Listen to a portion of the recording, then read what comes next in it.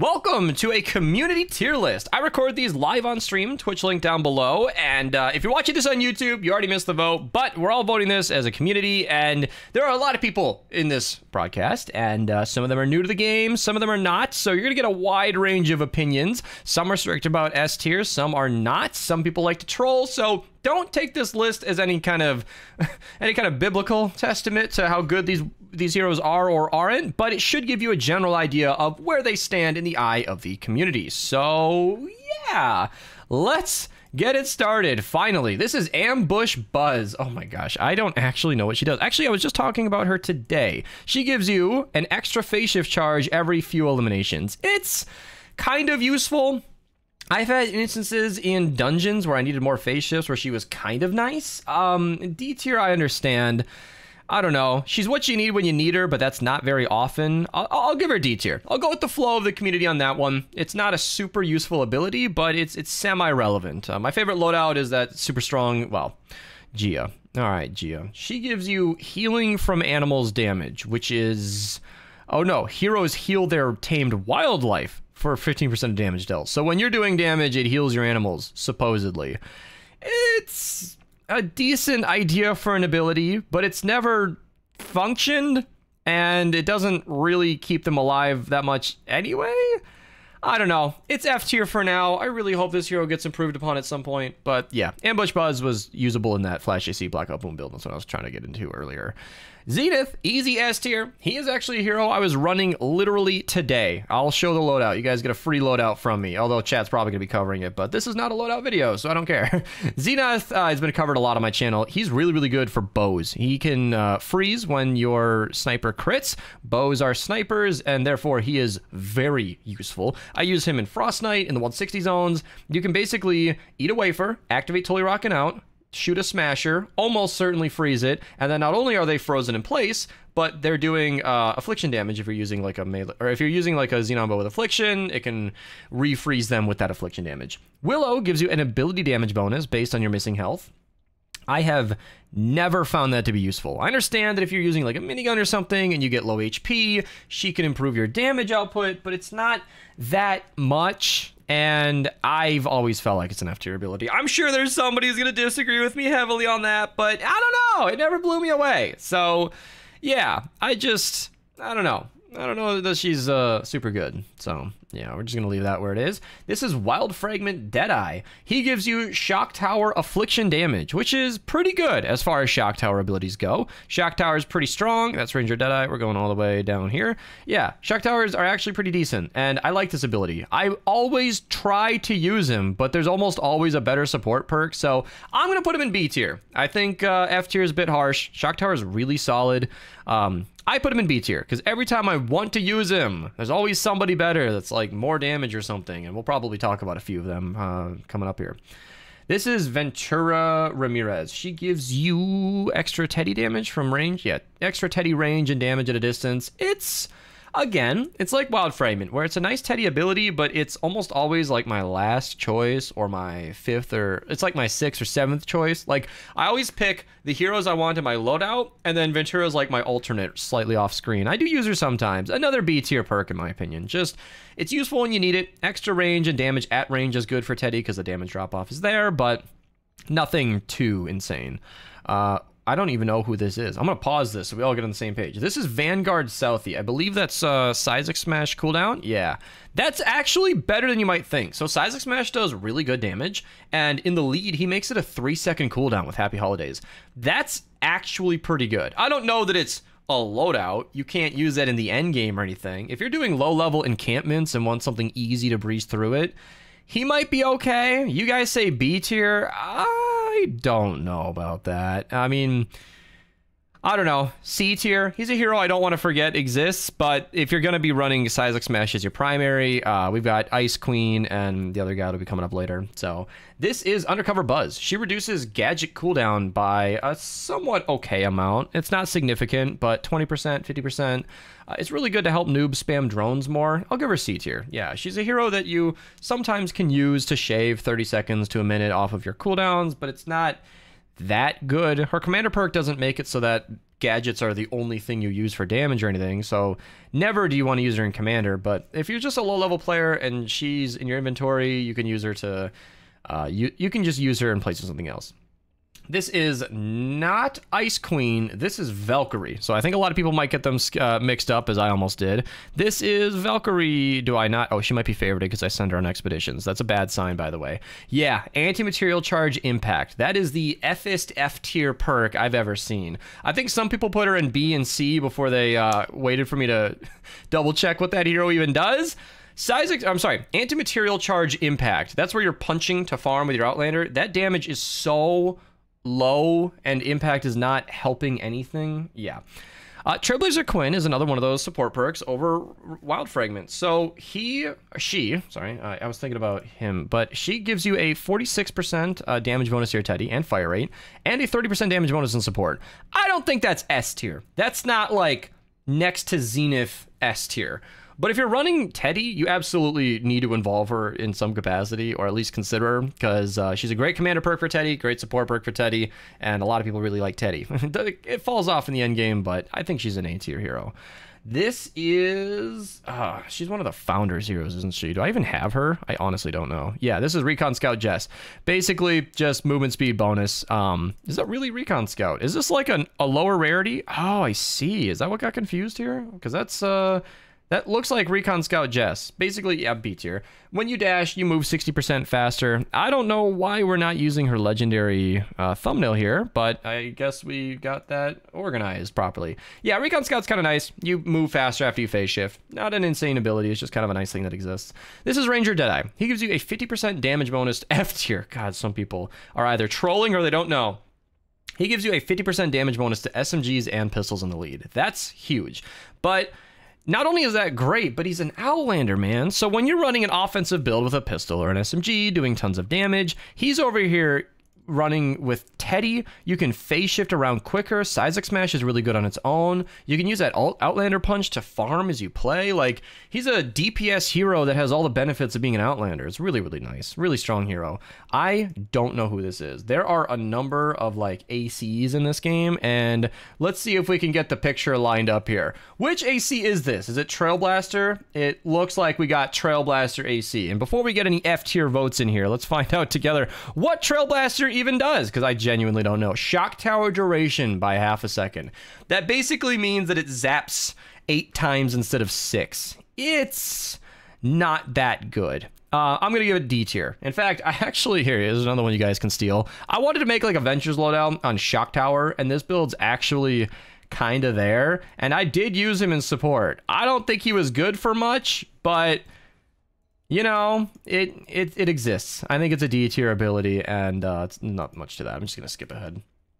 Ice Queen. Ice Queen freezes everything with your Seismic Smash. Okay, maybe not mini bosses, but it does freeze Smashers and Mist Monsters. And Seismic Smash is already pretty good, as mentioned. Is she an S tier hero? Definitely not. Um, I think you guys are getting a little too excited there. I think we went through too many bad heroes, and now chat's just really excited for a decent one. And that's all she is, is decent. It's strong, it's useful, it's a fun ability. I made a video on it a long time ago.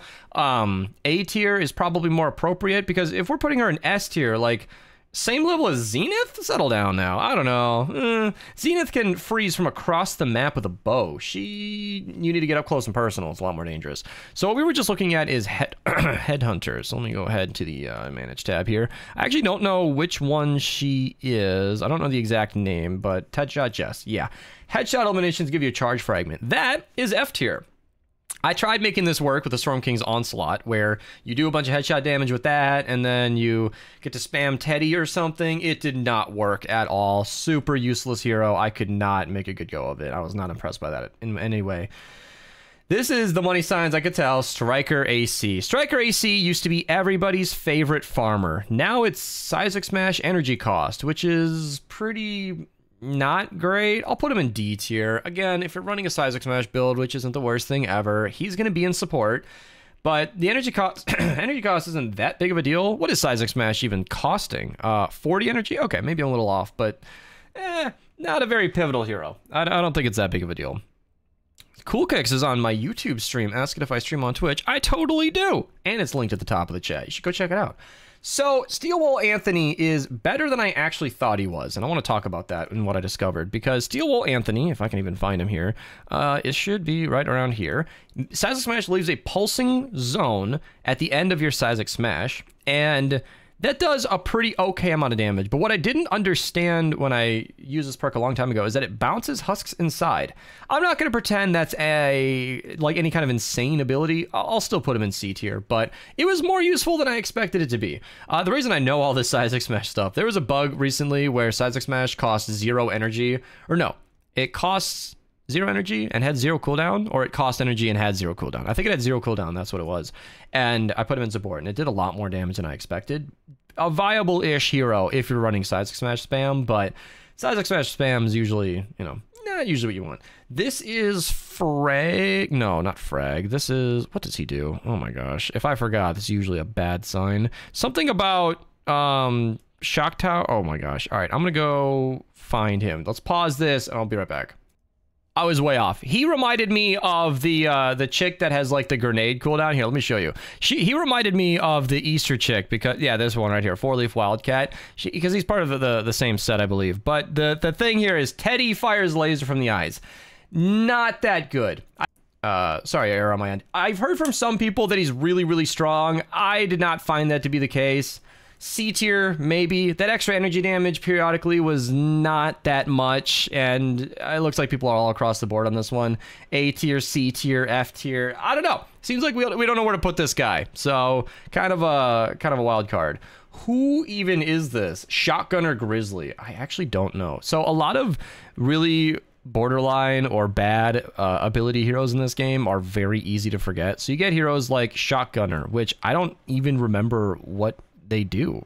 See, somebody I threw on expeditions, uh, that's Enforcer Grizzly. That's different. I feel like half this tier list is going to be me looking up heroes that I completely forgot about. Do I not have him? Oh my gosh, I'll be back again. Oh my god, I had to go to the collection book into, where are we even at? Shadow Ops. So, he makes it so that when you phase shift through enemies, it stuns them for a few seconds. That's actually, that sounds like it might be viable. I cannot believe I did not have a spare copy of this hero. He is a military llama hero. That's where the Shadow Ops comes from. So it's reasonable that I didn't stumble across him. In fact, as I'm recording this on December 23rd, if this gets posted in a few months, I'm so sorry. These tier lists usually go up slowly, but uh, military llamas were out today, so I had a chance to get another copy and I didn't. Um, stunning enemies, that sounds like it could help you, but you're already dashing away from enemies if you're doing that. So you don't really need to stun them. I don't know. And then we have Shock Blaster Buzz. Oh my god, is this another hero I'm not going to know about? I think I have her, at least. I, I'm... The only heroes I have missing my entire collection are really bad heroes. And yeah, Shock Tower Impact. Shock Tower already has really high impact. And I mentioned I made that Shock Tower build. I know for a fact there are six, seven, or eight viable shock tower heroes that are better than she is, and you don't need more impact. It's already stunning smashers. So I don't know what her her deal. I don't know what she's for. I, I don't know who this hero is designed for, but yeah, I think that's where she belongs. Who is this? I don't recognize that outfit at all. This might be one of the founders heroes, Shock Specialist AC. Let's learn together. So, shock usually means shock tower and shock tower damage. Okay, so he was my commander perk, if you remember. I'm going to put him in B tier.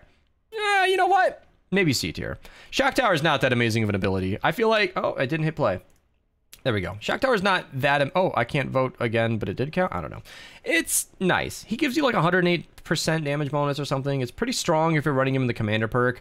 Um, Shock Tower build, honestly, it it I tested that in Ventures. It was more viable than I expected, but um, it's not gonna carry you or anything. It's not as strong as minigun, so I don't know. I was impressed. That's all I want to say, but not really a very interesting hero. Red Willow, easy S tier. One of I'm just kidding.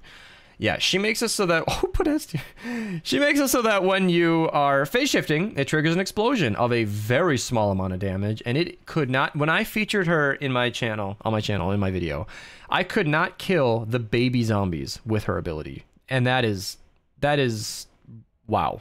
That's the lowest bar. Yeah, Red Willow is a meme, is one of the worst heroes in the entire game. Who do we have next? Is it gonna skip or is it just gonna not skip? I don't know. It's kind of bugging out. Okay, I guess I just won't be skipping this hero. Weird issue. Is this gonna be who I think it is? Uh, this is labeled as definitely the wrong hero in my files. So let's find this one. Man, so much of this video is like recognizing these icons. I wish we could have the label there on the tier maker because I'm pretty sure this is labeled as Recon Scout Eagle Eye. Like I can see her right here, but Recon Scout is the hero that we just voted on. So I think that's who we're talking about and I don't want to get this wrong, but I'm not really sure she could be anybody else. Maybe we can just vote her as Recon Scout and put her in B tier where we put her before, and then maybe move on to the next hero. This might have been an error in the production of this, and uh, that might have been that would have been Archer's fault if it was. So we're just gonna skip ahead to the next hero and uh, maybe get a diff different one. So this is Ragnarok. He makes it so that when you Seismic Smash, it goes out and comes back. In fact, hitting twice is so strong that they nerfed him in support. So like it's always been this way, but he makes it so that you do 25% less damage, but you're hitting twice. So it's functionally 50% more damage. A tier is fair. Yeah. Yeah. And in the lead, he actually increases the damage on top of giving you more damage. It's a really, really strong ability. I used him in the commander perk for that video I mentioned earlier. Increases your damage by a ton in the lead, decreases it in support. Solid hero. Solid hero. I'll tell you. It's actually actually fairly good. This is uh the not Recon Scout. Who am I thinking of? This is the the mythic one, whatever. Um I don't know if she's S tier, but she gives you the shifting gears perk where you can phase shift spam phase scout Jess. There you go. So yeah, she gives you more phase shift charges. Um, even one extra phase shift charge is worth A tier. I'm actually being serious. Um, that one extra charge, it's already got like a eight second cooldown. It helps a bunch and it helps you get around a lot more. She also gives you shifting gears, which means you can spam phase shift a ton with the team perk. It's pretty cool. Pretty cool. Decent hero. Uh, great support perk. Pathfinder. Pathfinder depends on who you're voting this tier list for. Um, as an early game farmer starting hero, I think she's S tier. She gives you a 50% damage bonus to your pickaxe, makes it very viable for farming. If you don't have Clip or Fossil Southie or Archaeologist, you don't have all the best heroes for a normal farming loadout. I think she's S tier, but seeing as she's fully obs well, almost fully obsolete once you get all those heroes, I think A tier is fair. She's like an all-in-one Outlander farmer. Um, Parasword Jess heals you when you use abilities. It's actually pretty good. Uh, I'll put her in A tier. Activating Blast on the Pad. Wow, F tier. That is aggressive. Did you guys maybe think this was Saurian Vigor, the trash dino soldier? Because abilities healing you is, is okay. If you're spamming phase shift, you're basically invincible. If, if, if you're throwing grenades as a soldier, that's actually pretty good. Um, you're mostly using her as an Outlander. That's probably why she is an Outlander. But the healing capabilities are pretty good. I put her A tier. That might be generous because I like speedrunning dungeons, but B or C tier is probably more accurate. Oh boy, Old Glory. Uh, when you use a fragment, it's a 10% cooldown reduction, right? Yeah, it's all right. Again, he's one of those heroes where every time I try to build like a Teddy loadout, he is he's he's in the consideration, but he's just not that useful? 10% is not that much and it's only for fragment uses. I think he's b tier. Looks like the community's super split on this one. Like he's only good for like a, a second or two cooldown reduction sometimes. It's not that much. It's not that much. All right metal team leader is basically like the here. We're gonna have a couple of heroes that are exactly the same as her and i want to point them out being uh am i blind? Where's jingle jess? Jingle jess and enforcer grizzly are the exact same as uh, Metal Team Leader, except that Metal Team Leader was a paid hero, and she technically does slightly more ability damage. Uh, that was a, a bug, I'm sure, uh, the way they set it up. They gave her a character model that's stronger. I don't think she's S tier, maybe A tier, but I don't love Teddy's that much, so I'm a little biased. Main stage Quinn, easy S tier. She gives you the sub wafers that activate Rockin' Riff, and if you're using Totally Rockin' Out, the strongest damaging team perk in the game, you're going to be using her wafers in a lot of different loadouts. Uh, she's not she's not a necessity in every single Toy Rockin' Out build, but if you're using Toy Rockin' Out, you need to remember that she exists. Very, very strong hero. You never use her in the Commander perk. You just use her for her wafers and support. Uh, definitely, definitely like main stage Quinn. S tier hero. Who is... Is it going to let me skip? Man, this site is just fighting me today. So Kuna Matata hero, I believe he's like uh, Ragnarok, but kind of worse. Yeah, applies a stun. And impact, which is really annoying. Okay, no, no, no. He's Ice Queen, but worse. Yeah, he stuns them, which does not freeze them, and increases impact, which launches them away from your Seismic Smash, which is bad if you're trying to hit them twice. I don't know. I don't like him. I don't like him. I'll I'll give him C tier if you're just trying to stun them, but Ice Queen does his job better. He's counter synergistic to Ragnarok. Weirdly bad hero. I don't know. It's strange. Uh, Jingle Jess, as mentioned, same as Metal Team. I'm going to put her in A tier, same as before. It's like slightly less ability damage. And weirdly enough, uh, Jingle Jess is available for one week out of the year. She's like a less uh, less accessible a less accessible version. And I don't know. I don't get it. Metal Team Leader is a paid hero that's been gone forever, so she functionally isn't accessible, but um yeah. Are we gonna get? Oh, so Jingle Jess, or not Jingle Jess? This is Jilly Teacup. I have four of her. She has a 100% chance to crit against brand new targets, and a 5% chance to malfunction, where it keeps finding a new targets a bunch, a bunch of times. It's actually pretty good. Um, if you're using Teddy in low zones, critting on the first hit is a nice boost to your damage, in my opinion. It's not dramatic. I'll put her in A tier. She doesn't really carry anything in the end game, but if you are using Teddy, you pretty much want to use her, uh, especially in low zones. That that single crit can one hit a lot of targets. Very gener- very uh, enjoyable.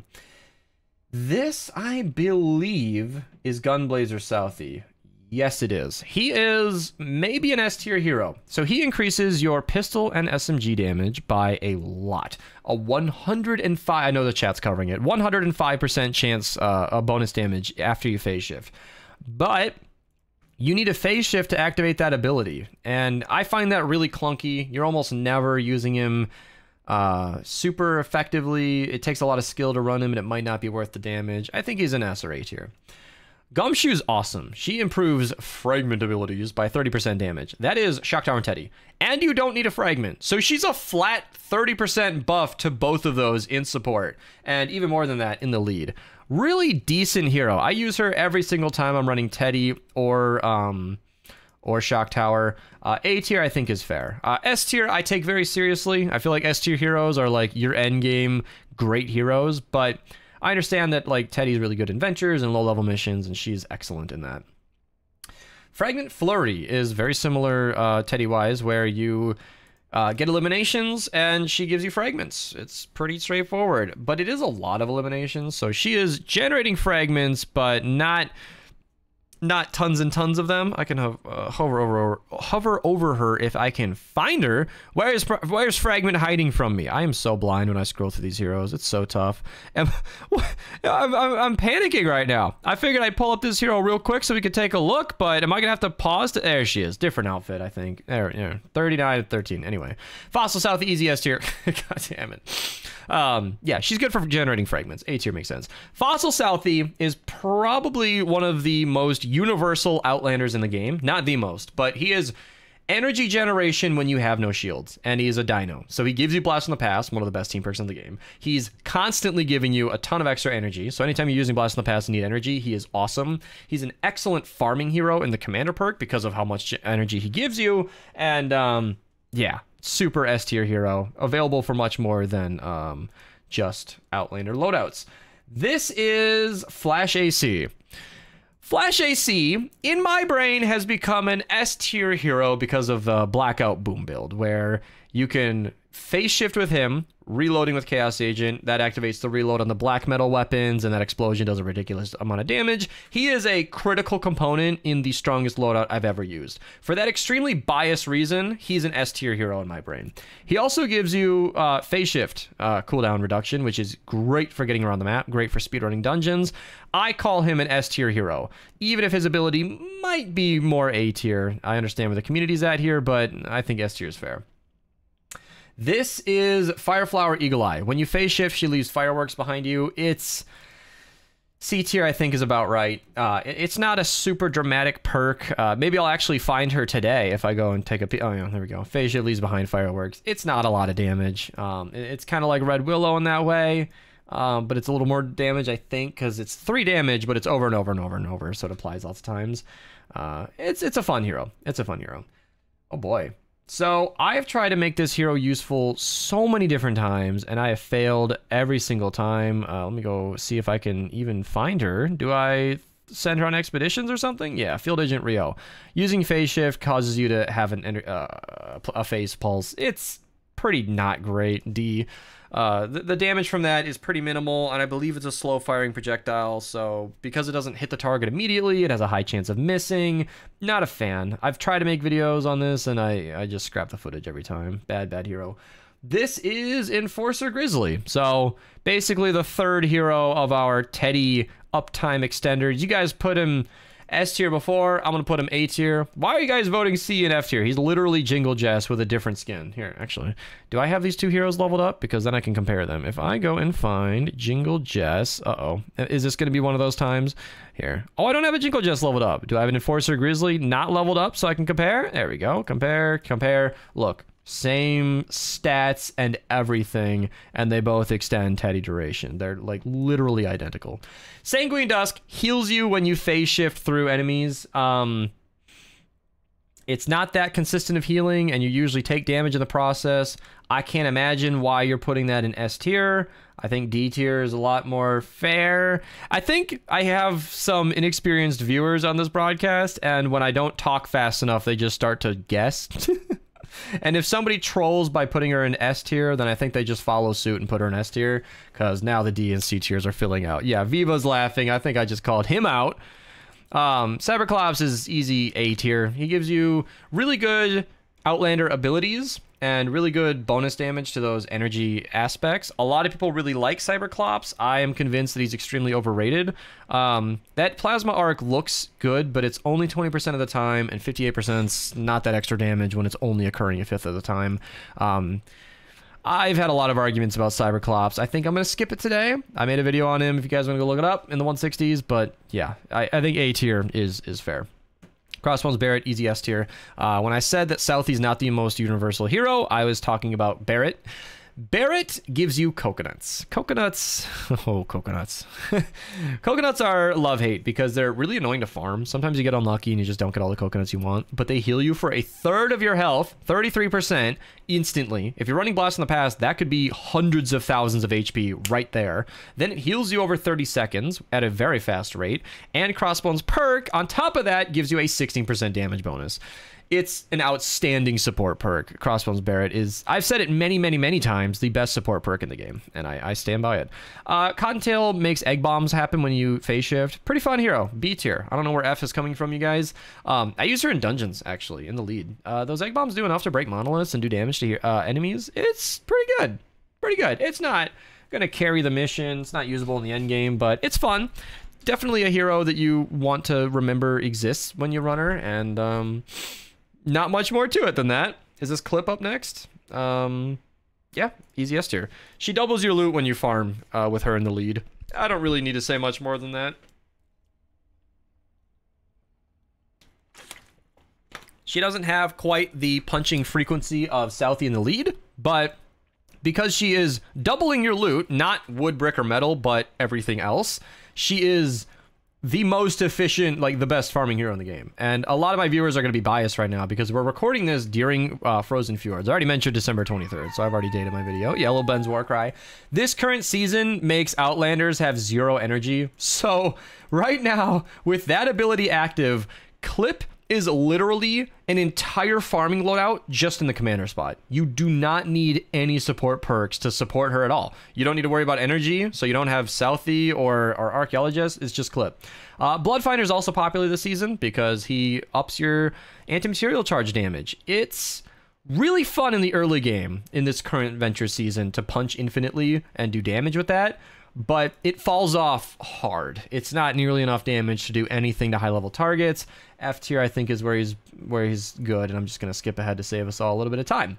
Uh, Beetlejess, easy S tier. She gives you a 225% crit damage bonus in the commander spot and 75% in support. That is ludicrously strong, excellently paired with Totally Rockin' Out. Everything I mentioned about Ranger Deadeye is still true here. She has all the Outlander things you love about Outlander, so you can get crazy damage bonus with Phase Shift for movement, Teddy for damage, Seismic Smash for damage. She's got the, obviously, the Outlander Punch, so you can farm in a game where you're doing tons of damage. It's awesome. If you're a poor player but you like doing damage, run her and just farm passively. It's great. Azalea Clark gives you a 15.5% ability energy damage bonus in support, and in the lead, she's useless. She gives you a team perk that's useless, and she's nice. I feel like every time I want to use her to buff my, my energy abilities, there's something better. So I want her to be A tier, but like maybe B tier. She's a hero you want to keep in mind when you're using an ability, uh, energy ability like a um, energy minigun or Cyberclops, for example, but in general, she's not that helpful. And then finally, Archaeologist. She reduces the cost of that anti-material charge. So while you're farming, she just makes every single punch cheaper. And the, the perfect farming build is like a, a trilogy or a, a trio of Clip, Fossil Southie, and Archaeolojess. You could put either one of these two in the lead with Archaeolojess and support, and uh, with Blast in the Past active, Fossil Southie will be generating all the energy you need, whether he's in the commander spot or the support.